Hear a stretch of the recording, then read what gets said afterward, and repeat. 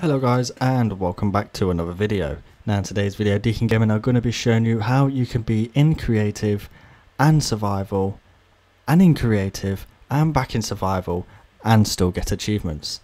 Now with for this you're going to need command blocks so you're going to have to start your world or change your world to creative temporarily um, just so you can get the command block. Um, most of you should know how to get command blocks by now. Um, just to show you if you go on, press right on the D-pad and you type in slash give at p command underscore block, you will get one of these.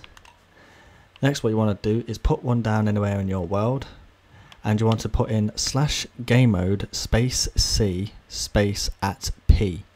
So that's game mode C for creative at P which is nearest player so it will be you uh, make sure the block type is on impulse, condition is unconditional, redstone needs redstone, and that is it.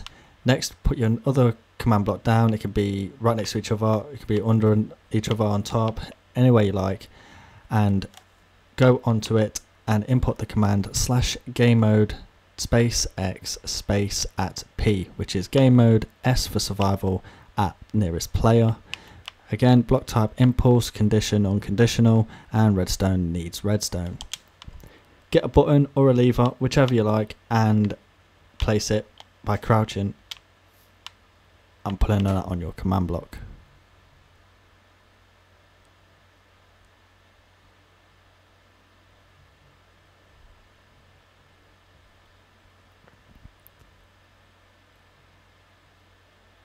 Once you've done that, you can then go back and forth from creative and survival. So currently I am in creative as you can tell I'm flying about.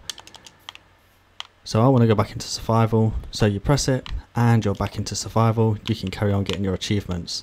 As long as you click survival when going to get your achieve uh, so you can get your achievements you'll be fine. Uh, but as soon as you hit creative you won't be able to get achievements but you can put in like blocks that you want anything that's in creative you can get into survival so you just pull, pull it into your chests. Like for me, I've put a couple of eggs, uh, a couple of monster spawners, some um, enchanted elytras and weapons and what have you. And then once I did that, I went back over to survival and then can use all my bits and pieces and yeah, I still get achievements.